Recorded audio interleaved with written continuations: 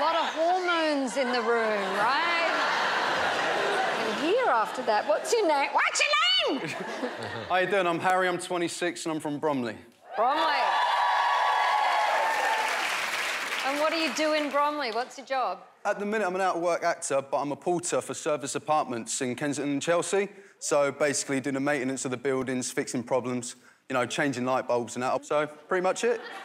Uh, and you spend a long time in the gym, obviously. You know, six days a week, you know. Just trying to keep trim, you know what I mean? How's your abs? Let's have a look. Give me 15 stars and I'll take it off.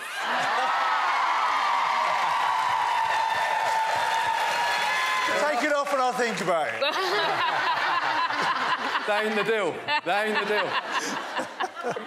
I hate to interrupt this speed dating, but. Um... Thank you. Take it away. We'll do.